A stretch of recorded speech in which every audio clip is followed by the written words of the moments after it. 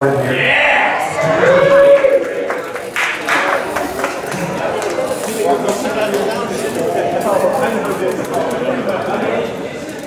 uh, so Matt and Chris asked me to give the uh, PorcFest commencement address. And, what I, I, I decided to talk about this evening is uh, the New Hampshire way. So let's start off uh, by asking, what did the uh, what did the New Hampshiremen say to the Free Stater? Welcome! What else? what took you so long?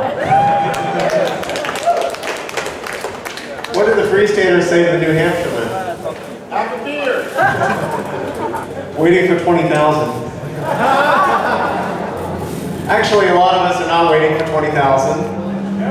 We've got, myself included. We've got a lot of different types of people here at PorcFest. Uh, a lot of different relationships to the Free State Project. Uh, we've got pre-staters. Yeah. Free Staters, people who uh, support the Free State Project, but either were born in New Hampshire or moved here for reasons other than the, the Free State Project. Free Staters are, you guys are welcome. Appreciate you.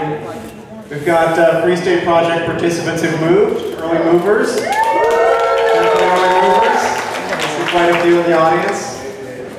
We've got uh, Free State Project participants who have not yet moved, but intend to move.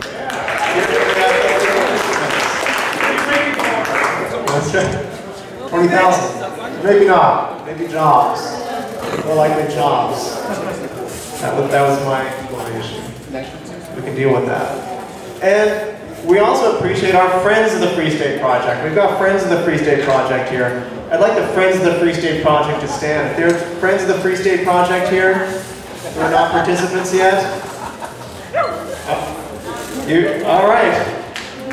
Sir, I am going to give you a statement of intent right now. No pressure. Just take it. You don't have to do anything with it.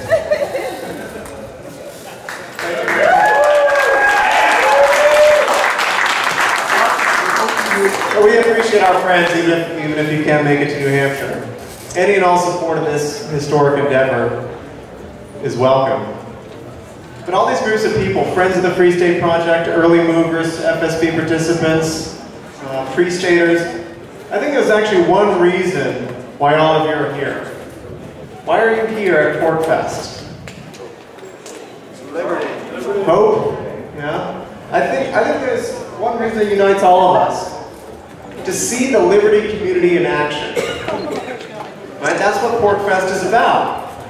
Whether you're just hanging out at campsites, talking to people, talking philosophy, talking whatever, going to Agora Valley, buying goods and services, maybe with Bitcoin, maybe with cash, maybe with silver, maybe goods and services that, uh, how should we put this, are maybe not in, encompassed in uh, our great state's uh, statutes as uh, entirely uh, legal. Um, you're seeing the, the Liberty Community Action if you're going to panels, seeing what people here in New Hampshire are doing. Uh, if you're learning about everything from beekeeping to Bitcoin to dancing, you're seeing what we're doing. It's not just a political community, it's, it's a social community. Right? It's, we're, we're learning from each other, we're helping each other. And what I'd like to impress upon all of you um, who are maybe here from other places and you're considering moving to New Hampshire is that New Hampshire is America's cradle of liberty. New Hampshire is, whether you know it or not, your homeland. New Hampshire is America's homeland.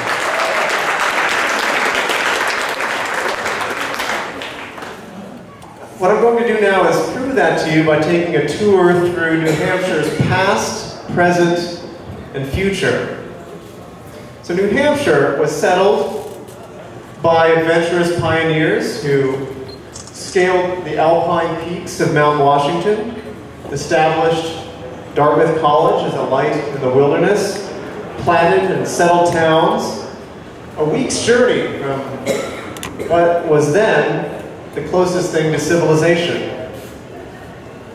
New Hampshire is the state where the revolt against British rule truly began. Never mind Lexington and Concord. Newcastle. Am I right? On December 13, 1774, 400 citizens stormed Fort William and Mary in Newcastle, New Hampshire, beginning the American Revolution.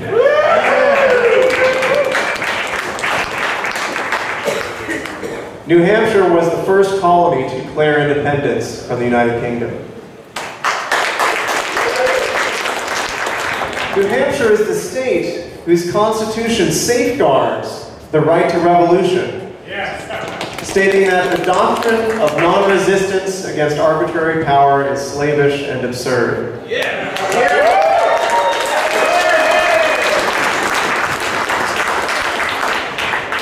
New Hampshire is the state whose constitution says that the state is sovereign and independent, and that all powers not expressly delegated to the United States are reserved to New Hampshire.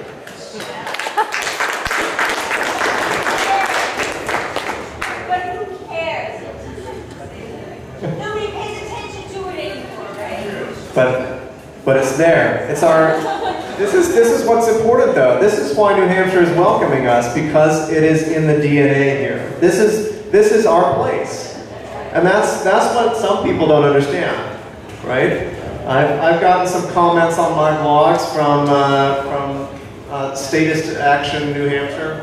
They call themselves Progressive Action New Hampshire. Go back where you came from. Well, where I'm from New Hampshire. New Hampshire is where libertarians are from. Right? New Hampshire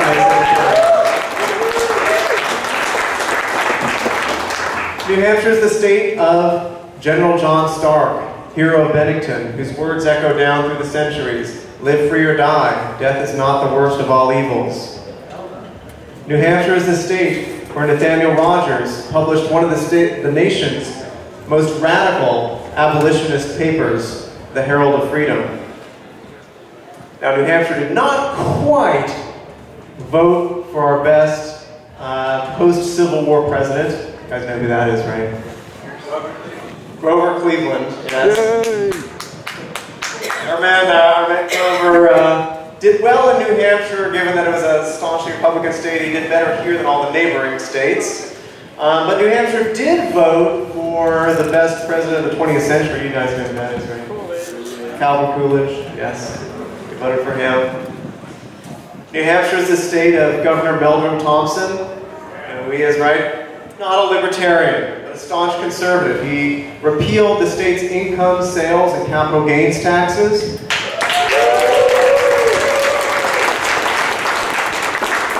He was the first New Hampshire politician to take the pledge against broad-based taxes. In fact, he was so anti-tax and so much a New Hampshire patriot that when Massachusetts tax agents came to scope out the parking lots of New Hampshire liquor stores to look for Massachusetts license plates, like Massachusetts residents coming for the virtually tax-free alcohol here in New Hampshire. Uh, he had those Massachusetts tax agents arrested. Now,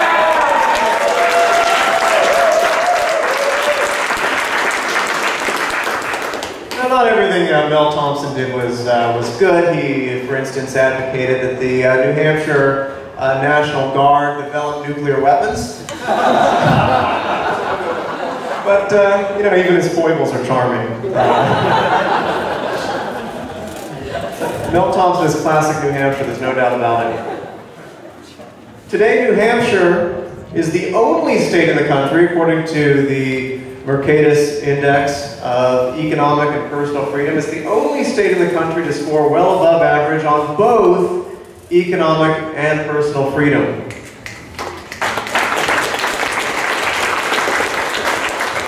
Apart from no sales or income tax, New Hampshire is a leader in school choice uh, nationally. It's also um, one of the states with the lowest incarceration rates in the country.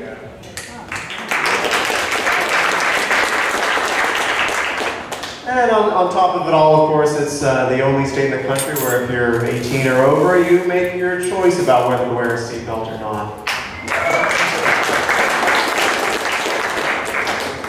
According to uh, election statistics and campaign contributions, in terms of today, in terms of the highest percentage of libertarians in a state's population, uh, New Hampshire is second and very close to the top state.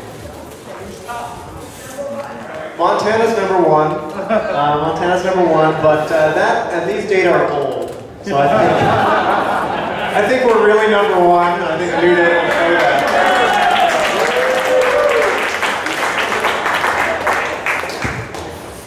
So what about New Hampshire's future? I'd like to take a little tour of what I expect to happen in New Hampshire over the next 20 years or so. So thinking about how Free State Project movers are going to affect social change here in New Hampshire. I'm going to go quickly through some of these calculations. If, um, if you're interested in the details, uh, you can certainly check out my talk, which will be going up on, on YouTube uh, from New Hampshire Liberty Forum called New Hampshire 2035, where I actually go through the numbers and do all the dry academic stuff about where this comes from. Um, but my best estimate, based on uh, past mover rates, based on our first 1,000 project, which some of you may know about, my best estimate is that within the next uh, eight years, by 2023, we will have 6,000 Free State Project movers here in New Hampshire.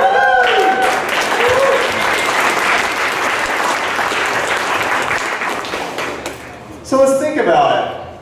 If we get 6,000 movers or more, what's that going to do? What are we going to be able to achieve with that kind of activist leaven to enliven New Hampshire's native culture of liberty?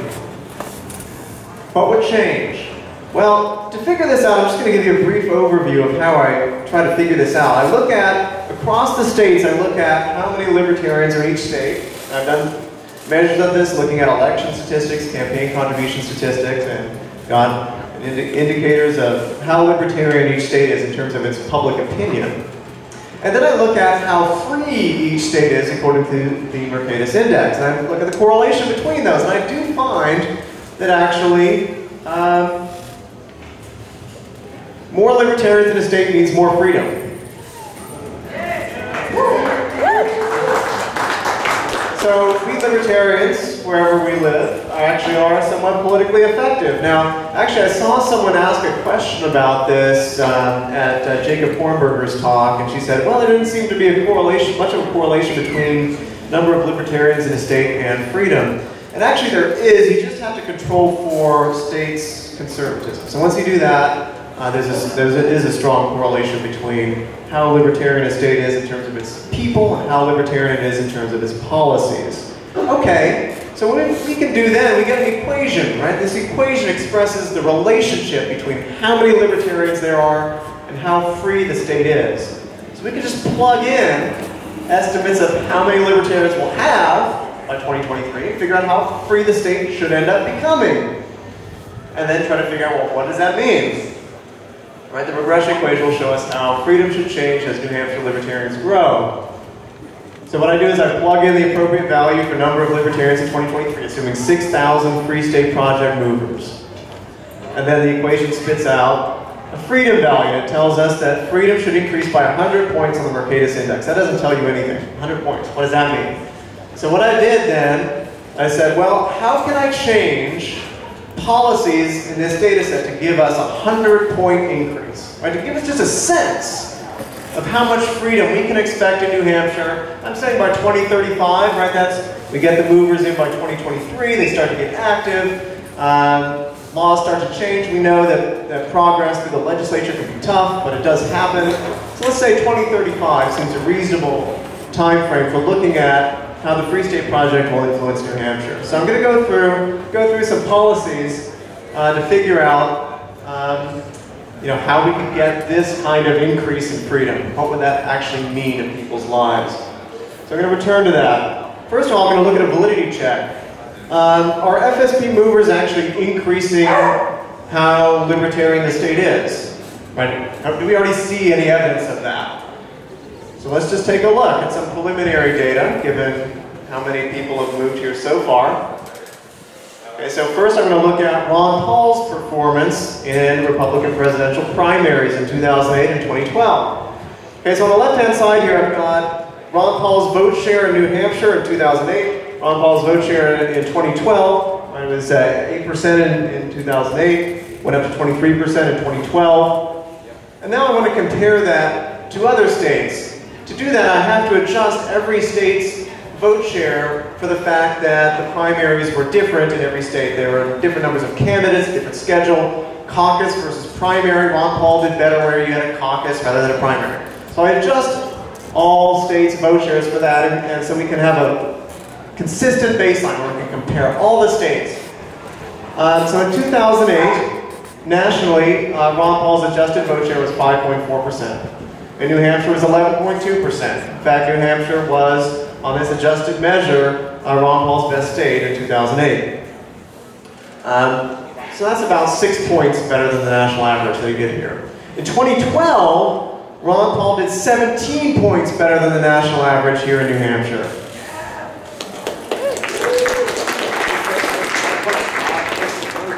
Now, between 2008 and 2012, anyone want to take a guess of how many FSP movers we got in the state?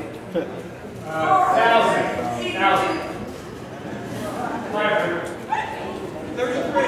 400. 400. So only 400 movers, and yet we see that New Hampshire has become much more pro-Ron Paul than the rest of the country. Right? So 400 movers alone seem to be making a significant impact. Now let's look at Libertarian Party presidential vote performance now. A lot of people, a lot of libertarians don't even vote for the Libertarian Party presidential races, but it's another way of looking at how libertarian the state uh, is. And we see that um, in 2008, uh, New Hampshire gave 0.13 percentage point of the vote more to the LP candidates. We actually had two in 2008, two LP candidates on the ballot. And then in 2012, um, it was 0.17 percentage points higher. So even by this measure, New Hampshire has become more libertarian over this four-year um, time frame. And then finally, the last one shows a slightly different picture. This shows uh, Ron Paul and Gary Johnson contributions as a percentage of the state economy. So on the left hand, I've got uh, 2008 contributions, and I show that in um, the country as a whole, people gave 0.12% of their income to Ron Paul. That's actually a lot. 0.12% of the economy was given to Ron Paul. Um, in New Hampshire, though, it was 0.33%. Uh, and New Hampshire was the number one state for Ron Paul contributors in both 2008 and 2012. In 2012, uh, New Hampshire's advantage over the rest of the country declined slightly. I actually have a, a theory about this, about why this indicator uh, suggests something slightly different from the other two. Uh, in 2008, I don't know if some of you remember, but Free Staters had a big campaign here because uh, there was a guy doing, um, remember back to the money bombs in 2007, there was a guy doing Ron Paul charts.com or Ron Paul graphs.com, and he was pulling contribution data off the official Ron Paul website and mapping Ron Paul contributors per capita by state. And Free Staters got all excited, oh, we have to be the number one state for Ron Paul contributors on this guy's map. And so there's a huge campaign to get everyone to contribute something, anything to Ron Paul's campaign. So I think that drove up our numbers in 2008 and might, might foul things up a bit here. But regardless, uh, you know, ignore that special pleading if you like. Two of the three indicators suggest that the, about 400 movers who moved between 2008 and 2012 increased libertarianism. So there's a suggestion that already New Hampshire is becoming more libertarian in terms of its voting and campaign contribution uh, statistics. So let me draw you a picture now. New Hampshire is becoming more libertarian, that's going to make our laws more libertarian. Just how much more free are Granite Staters going to be? Well, let's find out. Remember, I'm trying to add, get change policies until I get to a 100 point increase in freedom on the freedominthefiftystates.org index. All right, so New Hampshire 2035, what's it going to look like? So first, let's just go ahead and give New Hampshire the lowest tax burden in the U.S. at 7.5% instead of 8% of income.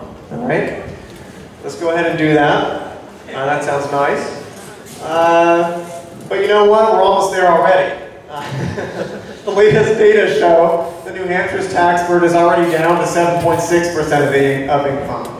Uh, so taxes and spending have been cut in New Hampshire, particularly in the 2011-2012 uh, um, legislature. So uh, we're already most of the way there. Let's go ahead and cut government debt in half. Yeah! Let's cut government employment by 15%.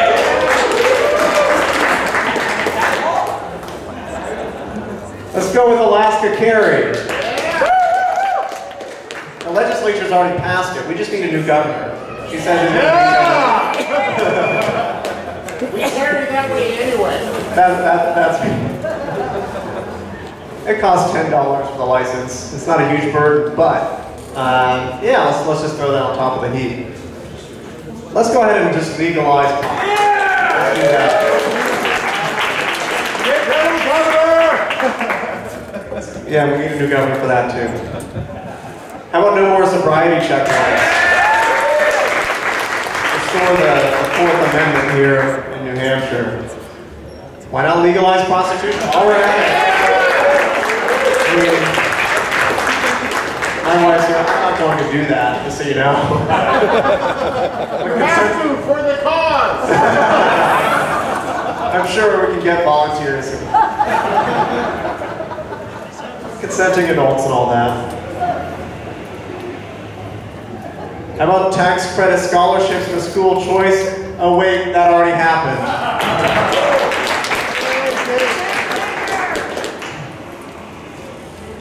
Uh, let's completely deregulate private-owned schools while we're at it. No state has done this, by the way, so we're, we're trotting into new territory. Um, let's abolish civil assets.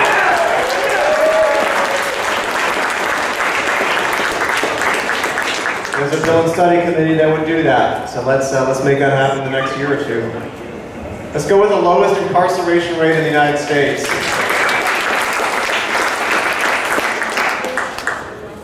How about no more state or local arrest for victimless crimes at all?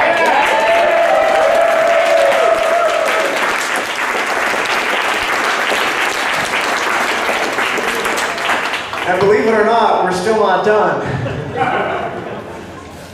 Let's repeal the smoking bans.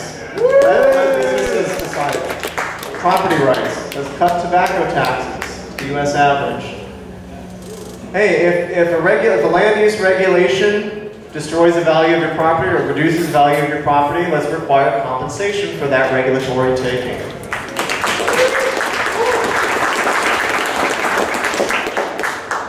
Let's end exclusionary zoning. Let's get rid of minimum lot sizes and building cap permits and everything else.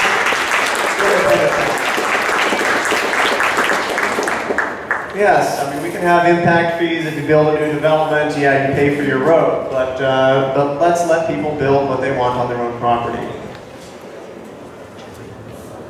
Let's let employers opt out of mandatory workers' compensation coverage.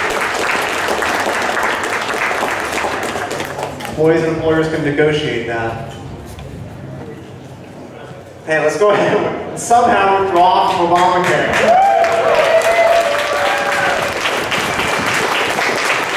I don't know exactly now, but we've got 20 years. There is that. And yeah, let's go ahead and, and once we've done that, we'll abolish all health insurance regulation beyond just the, the minimal stuff. You have to file with the, with the state office? So no more uh, mandatory benefits, no more price controls, uh, no, no more uh, limits on what you can con- contract and agree to with your insurer. Let's go with full.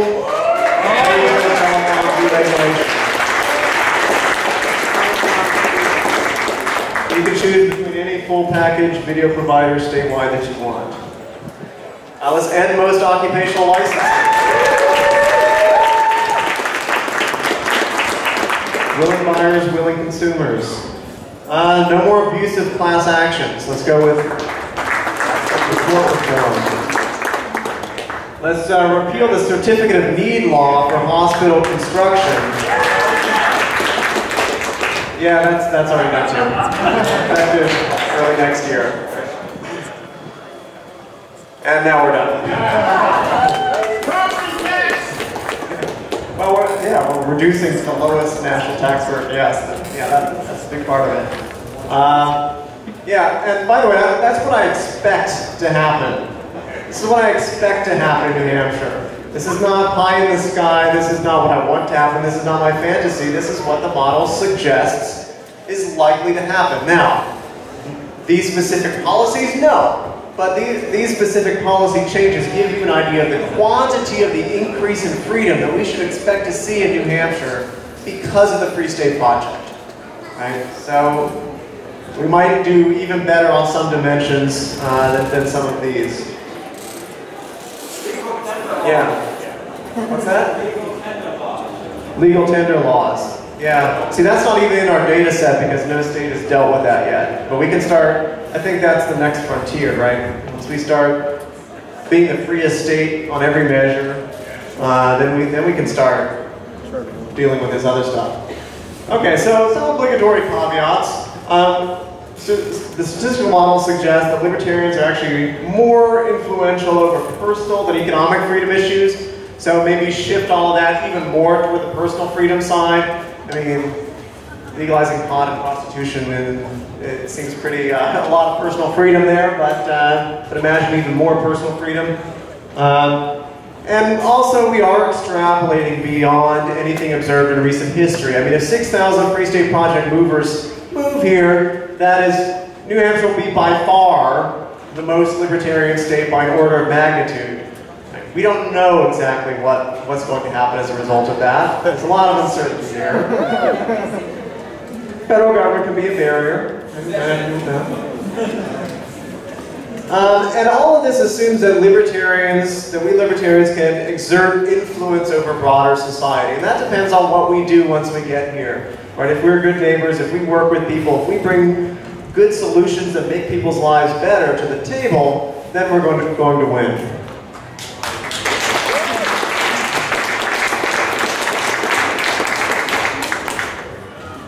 So let's have a little bit of a gut check. Are we on track?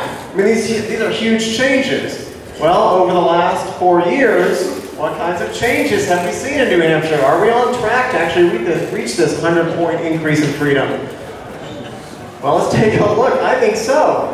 We have enacted a scholarship tax credit law for school choice for private schools, getting kids out of the government schools and into private schools.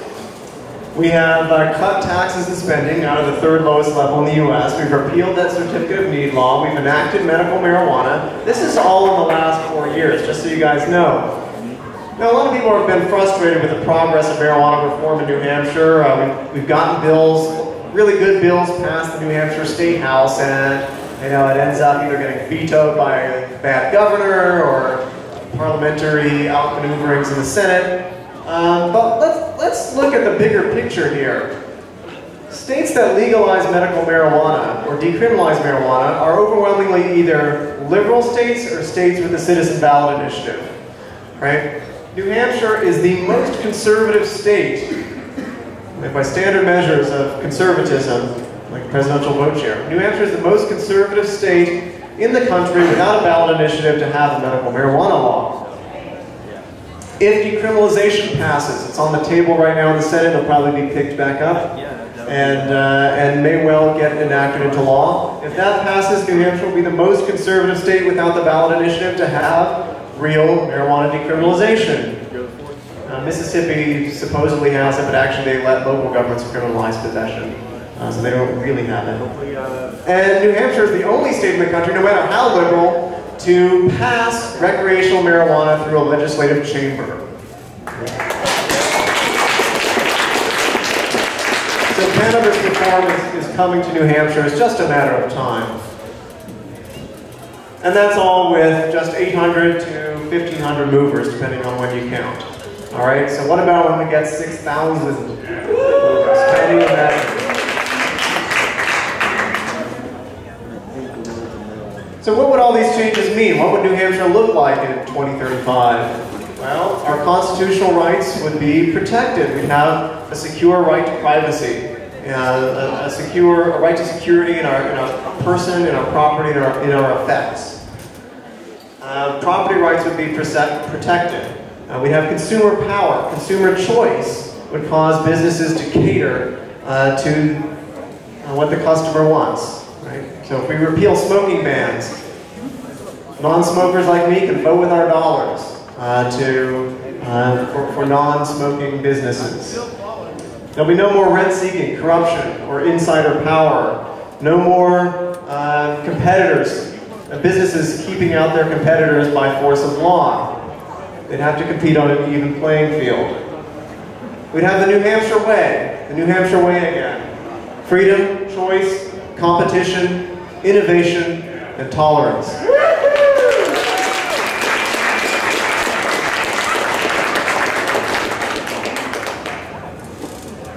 So what did the uh, what did the statist say to the libertarian? Get out!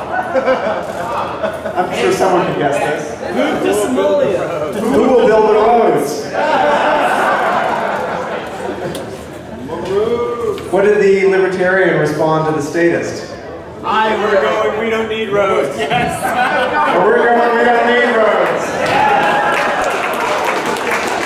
Flying cars, anyone? So with that, I'd like to say welcome to New Hampshire, welcome to PorcFest, welcome home.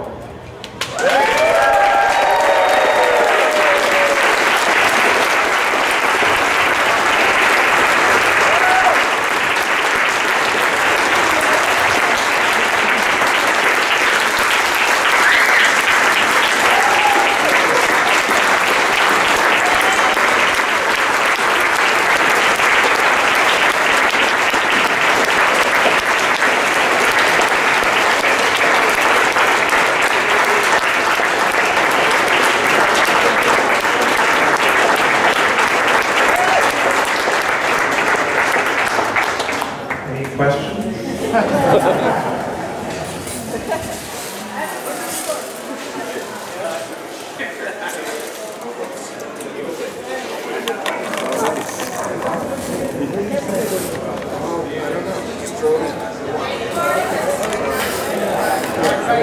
Jason. Thank you, Jason. Can you go back to the beginning about uh, how we're on the trajectory to get to 6,000 members and uh, the progress and when we'll get there? Yeah. Wow. We're working, we're at how many right now? 16, 1,700? That's all right. How do we be uh, from now to uh, 6,000? Yeah. So the numbers are based on looking at the, uh, the first 1,000 project, where depending on how you count our success rate for the first 1,000 project, it was between 30 and 40 percent yield of people who signed who actually moved the next year. So I'm assuming that uh, once we hit 20,000, we'll get about 30 percent. It's very conservative. The 30 percent will actually move, so we'll get 6,000. Now, how do we how do we do that? Um, well, we, I, I think a lot of it uh, depends on us who are already here. Uh, why did the Free State Project keep going uh, back in 2004, 2005 when, you know, we were down around 4,000 signers and it looked like 20,000 was a long way off. Uh, and, and it was kind of a little bleak at times. You're worried, is this going to work? But people started moving and they started getting active and things started happening and PorcFest started growing and people would come and say, I want to be a part of this. And that's how it started building and snowballing, and the mover rate has already increased. And it's increased in the last, uh, the last three years, the mover rate has been the highest that it ever has been for us. So we just need to take it another to another level. I think that's going to happen. The more freedoms we create here, the more organizations we create here, um, the more opportunities for people to get involved to show that uh, this is actually working. We, we'll just be a model for the rest of the nation. Um, so we're gonna we're gonna trigger the move in the next couple of years, and then we're we're gonna say, hey, come be a part of this. It's not it's not actually a sacrifice because you're gaining an entire community, right? You're gaining a, a support network that you probably don't have where you are right now. So I saw this talk at, uh, at Liberty Forum, and I like it now just as much as I did then. Um, my question is, one of your points, uh, I'm a little bit confused about why it's good, and I'd like to know what you think. Um, so it's the tort reform, no more abusive class action lawsuits, And I think in February you mentioned something about Delaware, but my memory might be faulty. So why do you think that reforming that is a measure of increasing liberty, where in my, like from my limited knowledge, it's more of, um, of making companies take responsibility for things that they do. And am I correct in thinking that you want something more like Delaware, or am I imagining that? And um, how do you classify abusive, because that seems really subjective. So Yeah. those are- that's like my. I got you. Good, good question. And uh, in principle, the tort system could be a tool for liberty uh, as much as against. So we have to look at the evidence. How does the American tort system actually work? And the fact is that American tort costs as a percentage of the economy are much higher than any other industrialized country. Now, are we getting something from that? Some say, well, we're getting less regulation as a result of that. There's a, a study from the, uh, there's a recent book called The American Illness, Essays on the Rule of Law by a friend of mine, uh, Frank Buckley, who's a law professor at the GMU. That's an edited volume, he's the editor. And one of the studies in that book shows that states that have more regulations on business also have higher tort costs. So it's not as if we're getting out of regulation by substituting court, the court system for it. In addition, there's a study by um, uh, Alexander Tabarrok and Eric Helland that looks at um, uh, how out-of-state defendants compare to in-state defendants. They find that in the states with the most politicized judiciaries, where judges are actually elected on a partisan ballot, out-of-state corporations uh, pay on average $300,000 more in a lawsuit than an in-state corporation. Now, are out-of-state corporations that much more abusive that they need to pay that much more? I doubt it. I think this is more, we're going to get that guy because they don't vote here. And so there really does seem to be a problem. In securities class action lawsuits, for instance, there's a whole cottage industry of, of lawyers who, as soon as a company's stock goes down, they'll just file a lawsuit and say, there must be some fraud there, your stock went down. And, uh, and they'll demand all, all sorts of corporate documents. It's very expensive to comply uh, with the even just the discovery process. And so what corporations will do is just um, settle. You know, here's $10 million, go away. And the problem with that is that it ends up being a kind of tax on the economy. And, and the studies of this seem to repeatedly show that uh, the, the American tort system is uh, excessive in certain areas, especially the class action area. Uh, that it, it just, uh, we're not getting the bang for the buck. So in principle, I agree with you. In practice, it looks like uh, these systems don't work very well. Uh, Delaware is very highly rated by business. I don't necessarily want to copy the Delaware model, but uh, let's find a way to, um, to, to make the, the system work well. Uh, for instance, we could restore mens rea. Right now, for product liability, for instance, you can uh, be you can ha- be held liable even if you did all due diligence to make your product safe, just because someone did something bad with it. Uh, it's called strict liability. So let's get rid of strict liability, maybe. Let's uh, let's make loser pay so we don't get frivolous suits. So things like that, I think, are actually a, a net increase in freedom. I just have two quick questions. As a very early mover, 10 years ago, uh, I would like to ask everyone else, the question from an early mover is, what are you waiting for? And what does every free stater, free state friend, free stater, etc. say to Jason Sorens? Thank you!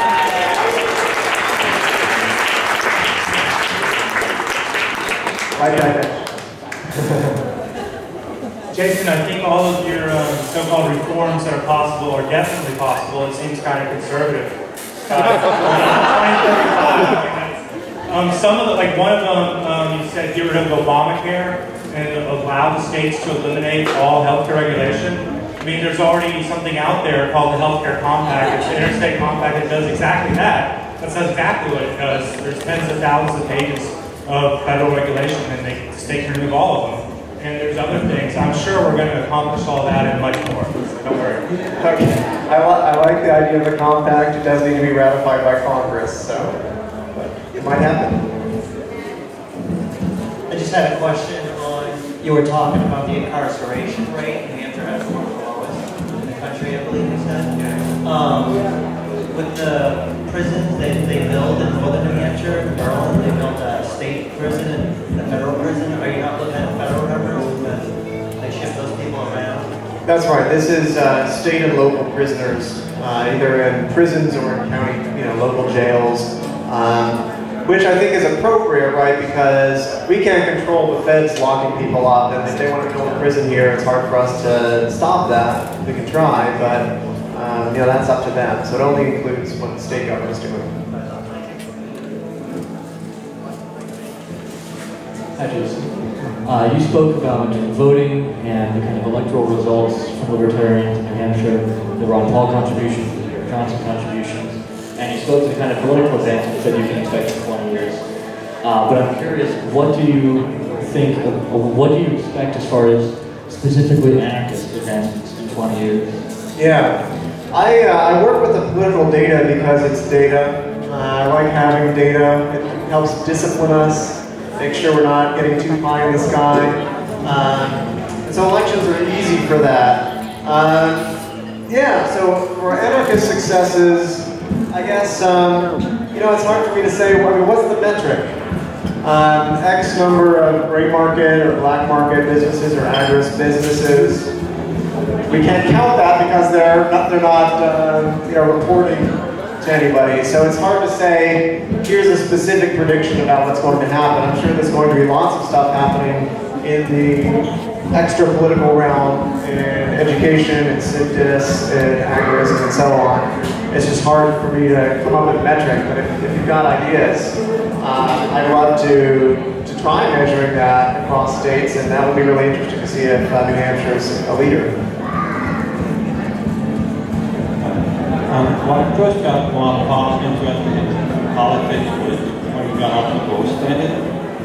And what got me interested in politics is economics and taxes. And it was a statement made by an elitist saying, give me control of the money and I don't care what money you make.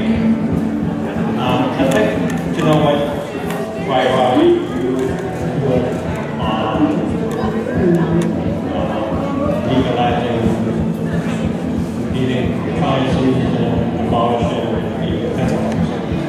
I think it's extremely important. Um, you know, to some extent, we're, we're entering a world with competing currencies. You can buy gold, you can buy other currencies, uh, and that's not too difficult. But we should abolish legal tender laws, and, and more importantly, we need to uh, we need a monetary policy rule so that uh, the, the Fed isn't unconstrained and doing whatever it wants with monetary Um, so we need that, and that, that would be critical to dampening the business cycle. And, and that's important to freedom in one way because whenever we get a Great Depression or a Great Recession, it turns people away from markets. And they think that capitalism has failed, and they start thinking, oh, we need to, you know, it's all the one percent's fault. Well, no, it's the Fed's fault. Uh, let's put let's put blame where it's due, and, and solve that issue. So I, I think once we solve that, we're going to have um, a long run, brighter future for liberty. Thank you, Jason, for this wonderful projection. And you just gave me a huge dose of energy to keep going and do more and volunteer more. So thank you and I appreciate this time. Really helpful. And uh, to my question, uh, you said that we influence New Hampshire, we already have, and we have we have contributed in so many ways to New Hampshire, including in otherwise. My question is, how do we do it? How have we been doing it already? How, how have we done it? So, we do it. So, really, my question. Um, we participate in the political process and we get elected and, and we win this way. What else do we do that help us change to be more libertarian? Education. So lobbying and running for office and supporting candidates can only take you so far uh, if the voters ultimately reject those candidates and there's a backlash against you. So uh, what I work on, to take the opportunity to pitch so what I'm doing, which is uh, Ethics and Economics Education New England, uh, e3ne.org, Check us out online. We are uh, we're educating high school students. I'm also working at Dartmouth to educate college students on moral philosophy and economics. And we're doing conferences for policymakers on state level policy issues, bringing in national experts. From left to right, we support free market solutions in areas like uh, zoning, occupational licensing, forfeiture reform, uh, pension reform, and so on. And just educating legislators and journalists and, sh and showing them that these solutions actually work. Uh, the experts are actually pretty unified that we need to move in a market-oriented direction here. And, uh, and I think we'll get some, some big results there. But we have to, it's a, it's a battle for hearts and minds. So a number of the uh, advancements that you listed uh, are effectively nullifications of federal. Uh, marijuana, for instance, and uh, Obamacare. Are there other trends that you see taking the form of nullification? Is there a point at which uh, you would say beyond which, in order to achieve greater liberty, would necessarily have to take the form of non-compliance? Uh, and is there a wall that we're going to hit with the federal government that would leave no other alternative but independence? Yeah, I, I, think we need to get powers back from the federal government. Um, we need to let's get out of Medicare and Social Security. Uh, let's let's do that at the state level. Let's get out of uh, Homeland Security, the drug war, the ATF, you know, and the laws that, that authorize their activities. Let's get all that done at the state level. Whether that requires independence or not is another issue. I like to talk about self-government, New Hampshire self-government. What does that mean? It might mean independence, might mean something less. Do we need to control foreign policy? Do we need a New Hampshire military and New Hampshire diplomatic missions abroad? Maybe not. maybe, maybe not. Um, if we can get whatever we want in terms of domestic policy through self-government, uh, then let's try that. I think I just think it's uh, it's a little bit more of an inclusive concept. I know you're working on independence, but I think self-government is a little bit more of an inclusive concept and, and might bring more people in who are scared about terms like secession.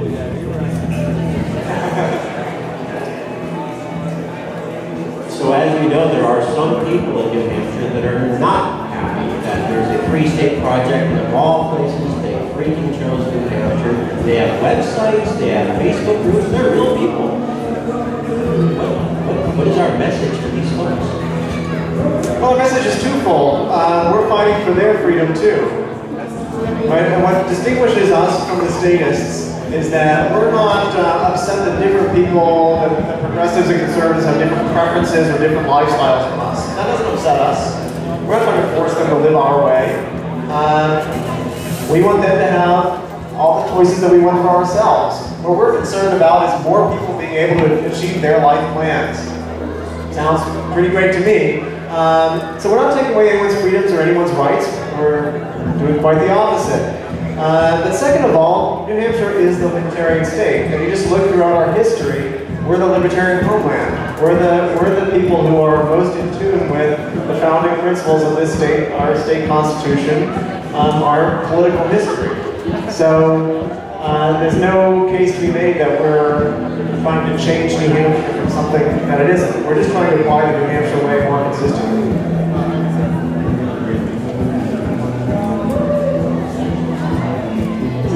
Following on what Mehrav asked, but that was at the legislative level, the House of Representatives, maybe senator, right? That's what most people think about. But, but local politics could be important too, and it gets to the point that I, I don't think we address directly here. So I feel like, so I'm on the school board of Croydon, as you know, and we have this school choice thing going on uh, with private schools, and the state is challenging us. And they're, you know, having interpretations of the law, so it's the rule of man, not the rule of law. If more local places were doing this, get on your local school board, then you can also hey, what does the law actually say? And let's carry this through. I mean, I feel like we're winning, right? Based on this rule of law. Are you, no, I have a sort of follow-up question for you. What's the, the latest on the Croydon situation? Are you going to stand on your... On Oh, your oh yes. Oh, absolutely. The town's behind us. The town is hold back funds from the SAU who is unwilling to pay because they're waiting for the state to interpret the law for them. The superintendent has a law degree and she won't read the law and make a decision. She's afraid of something. So are you going to have to sue? her? No, we're not suing anybody. Okay. We're going to pay our own private school bills while they pay our public school bills as we go through the process of pulling out of the SAU. Oh, I see. Yeah, it's gonna be. No, so that's what we're doing. And we have RSAs to back everything that we're doing. So, uh, no, yeah, everybody's all for it. Except for that small minority in town who think public money should only be used for public schools. Well, New Hampshire law is actually pretty good. We just need to have it enforced in, in a lot of areas. I mean, New Hampshire, New Hampshire is one of the few states whose constitution does not mention government schools. There's no mention of government schools in the, in the New Hampshire Constitution. Two places, actually. Well, it's, it's Article 83. Okay, Yes. but it's You um, should cherish public schools, sorry, no. You shall cherish the legislature and the magistrate shall cherish seminary and public schools. And then two sentences later, it says you can't raise money for seminary. So then how the hell can you be raising money for public schools? Because cherish means one thing that you should apply to both, right? Oh man, would I love to argue that one. yeah. Well, I wonder what they originally meant by public schools. If they meant government operated or They not. I meant- don't think they did. They, they meant Protestant-run schools. Seminaries were the Catholics. I learned that from an IJ guy who was for Justice. Gave me the whole history. It was awesome. Thank you. Thanks, Jimmy. All right, thanks everybody.